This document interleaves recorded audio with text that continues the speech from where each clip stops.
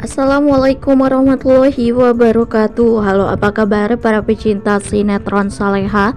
Di mana pun kalian berada jumpa lagi bersama dengan Mimin. Ya seperti biasa Mimin akan membagikan informasi terbaru mengenai alur dari cerita sinetron Saleha Yang tentunya semakin hari semakin seru Semakin gregetan dan membuat kita semua penasaran. Di video kali ini Mimin akan memprediksi kemungkinan besar yang akan terjadi di sinetron Saleha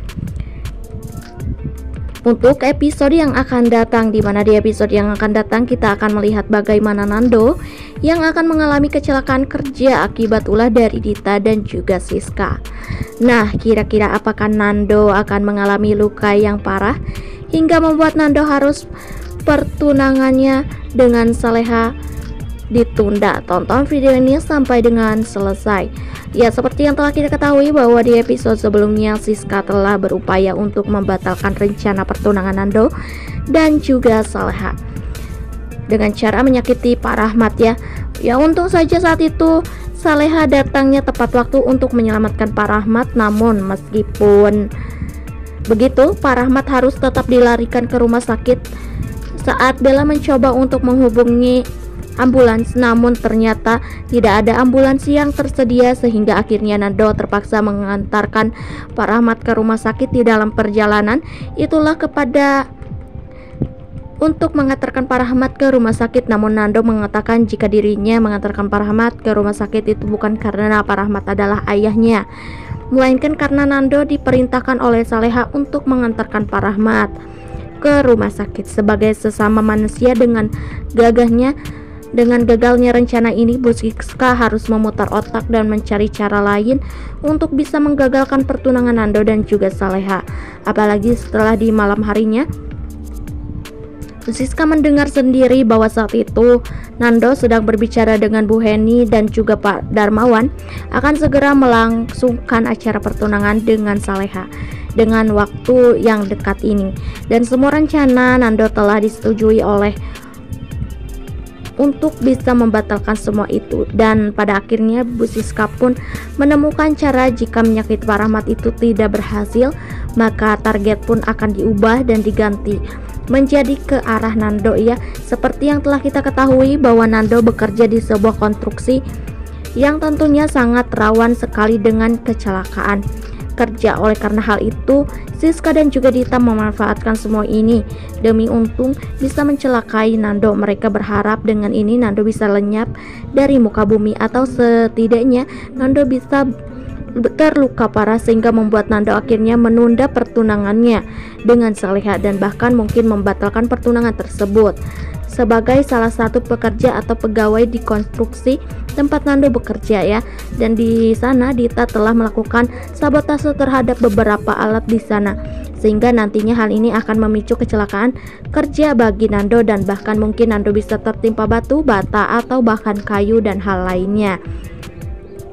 Nah, sebelum lanjutin video kali ini, Mimin sarankan agar teman-teman semua menekan tombol subscribe dan juga nyalakan lonceng notifikasinya agar kalian semua tidak ketinggalan informasi terbaru dari Mimin. Setiap hari Mimin akan membagikan informasi terbaru mengenai alur dari cerita sinetron Saleha. Mimin juga menyarankan agar teman-teman semua menonton video ini sampai dengan selesai agar tidak terjadi kesalahpahaman di antara kita. Akibat dari kecelakaan ini, Nando pun harus dilarikan ke rumah sakit ya. Di mana kita bisa melihat bagaimana saat itu ada ambulans yang terlihat sedang mengangkut seseorang ya. Seperti memang itu adalah Nando yang baru saja mengalami kecelakaan akibat sabotase oleh Tante Dita. Tante Dita pun hanya bisa memandang ambulans tersebut sambil tersenyum karena merasa bahwa apa yang direncanakan oleh Su Budita sudah berhasil mengenai target dan tentunya hal ini membuat Bu Siska sangat bahagia karena kali ini kinerja Dita benar-benar sangat bagusnya dibanding sebelumnya yang gagal untuk mencelakai Pak Rahmat dan kali ini Dita akhirnya berhasil untuk mencelakai Nando.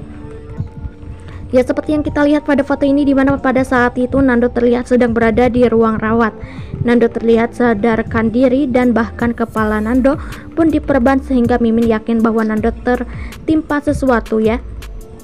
Dan semoga saja apa yang menimpa Nando kali ini tidak membuat Nando terluka parah. Hanya saja mungkin Nando mengalami beberapa luka ringan di kepalanya sehingga ini tidak akan mengancam nyawa Nando atau bahkan mungkin mengancam organ vital Nando lainnya sehingga membuat Nando harus mengalami lumpuh dan cacat seperti yang tidak kita inginkan ya.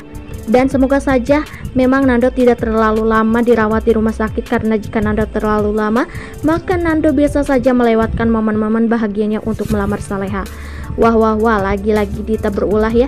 Mungkin banyak dari para pecinta sinetron Saleha yang bertanya-tanya mengapa Dita yang orang miskin itu sangat sulit untuk ditangkap oleh pihak kepolisian karena memang Dita itu adalah memiliki akses, Dita memiliki backingan atau backup yang kuat yaitu Bu Siska yang memberikan Dita akses ke mana pun Dita pergi dan menjalankan misinya sehingga apa yang dilakukan oleh Dita kali ini benar-benar sangat luar biasa. Nah itu adalah prediksi dari Mimin.